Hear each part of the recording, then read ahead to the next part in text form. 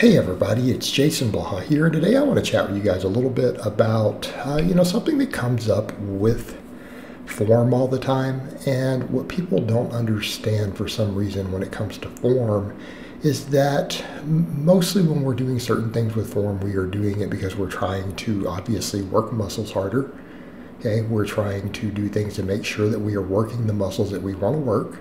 Uh, we're trying to maybe use a certain technique to lift more weights, or we are trying to reduce injuries. Okay, that's usually what it comes down to. Um, and a lot of times, I think people get hung up way too much on when they're trying to isolate a muscle uh, of saying, oh, I need to work as hard as possible to make sure no other muscles are used. And that, that simply isn't necessary. Um, I would, and that's because people maybe take the word a little too literally. Okay. Because usually, you know, when we talk about trying to isolate a muscle, what do we mean? We just we just want that muscle to work harder. And we don't really care what is required for that muscle to work harder. Does that make sense? Uh, you know, because again, we are simply saying, hey, I want this muscle to get as much stimulus as possible from this exercise. Okay? And what happens with that sometimes, I think you can take it so far that you literally start reducing activation of the muscle you're trying to work. Uh, for example, uh, people will take a curl or, or an extension or something and say, uh, because I, I, don't want my shoulders to get involved, I'm going to say limit the range of motion and not and not let my shoulders move at all, because I you know I don't want my delts doing any work or my traps or anything. And, but and that would be well and good if they were actually taking away from the curl, but when people do it a certain way and then they say, okay, I'm not going to come all the way up, right? They're not going to let the shoulder move forward or the elbows move at all. You see a problem with that? Anyone who's, who's looked at the biomechanics of the bicep will say, well, that's a problem because that shoulder movement is part of the function of the bicep. It's not a primary, right? It's not the main function, but the bicep, because the bicep generally will flex the elbow. Okay, that's what it does, right? It causes flexion of the elbow. That, that is what where most of the bicep activation happens. Okay? Right? I think we all understand that. But that flexion of the shoulder is one of the functions of one of the heads because it has a tendon that inserts up there. Okay, do you guys see? You didn't see the issue? In that case, trying to work so hard to isolate the muscle, you are literally skipping some of the fibers in the bicep. There are muscle fibers in the bicep that you have now removed by trying to do that. Oh, well, that's not useful. Okay, that's not useful. Uh, same thing when people take movements where they don't go all the way down. You know, talk about locking the elbow. Well, that's that's part of the function of the bicep, and there are muscle fibers involved with the bicep that will not get activated till you get all the way out to full extension of the elbow.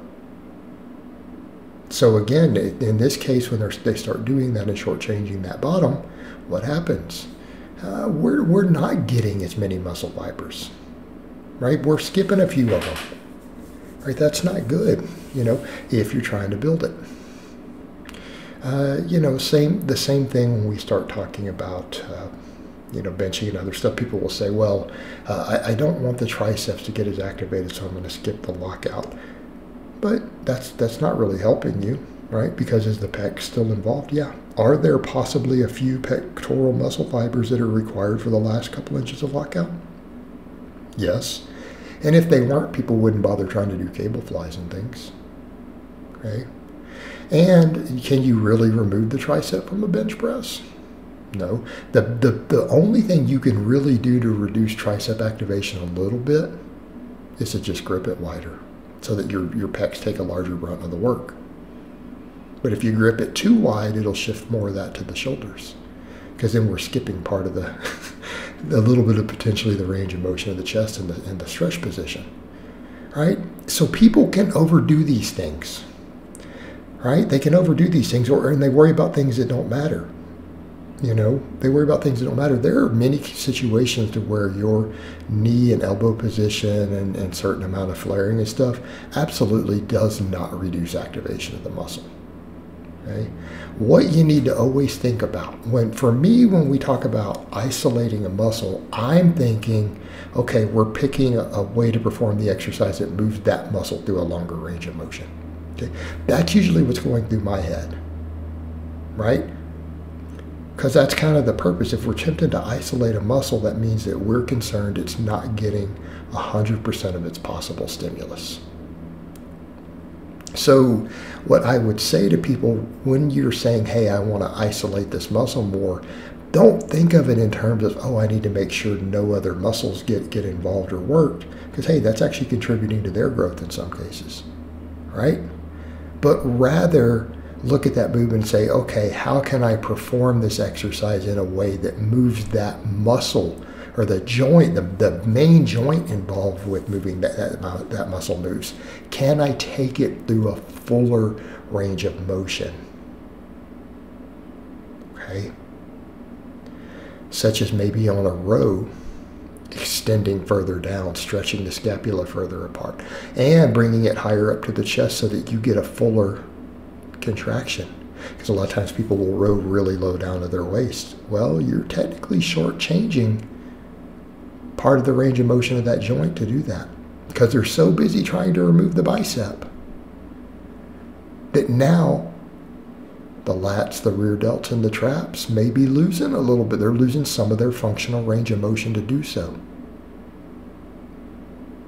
Same thing, people will avoid locking and stretching at the bottom because maybe again they're like, well, I don't, I don't want the bicep or whatever to, to do this, and it's like, well, why do you care? Get that stretch because that is a primary function of the lats, right? This is the issue we run into when you try to isolate a muscle too much because you're thinking literally in those terms, you're shortchanging the muscle itself oftentimes. Again, my advice if you're struggling with developing a muscle, you're struggling with feeling that muscle, you're struggling with developing it on an exercise, start looking at the exercise and saying, hey, is there a way that I can load the muscle just by changing something in this exercise so that it, I take, the, take it through a longer range of motion? Because that's probably what you're missing. Right, that's probably what's, what your missing element is. You're shortchanging part of the function of that muscle because you didn't take the muscle through its, its potential range of motion. Because that's usually worth something, right? Not saying every single time is it going to be a game changer, no. But I'm going to say the majority of the time it probably will help. It probably will. Because again, how do we build muscles? How do we stimulate muscles? By making them work. And by removing other muscles from working, that doesn't necessarily increase the work on it. You increase the work on it by making it work more. All right, guys, but that's really all I have to say on that today. I hope it's been informative, and I'll talk to you guys next time.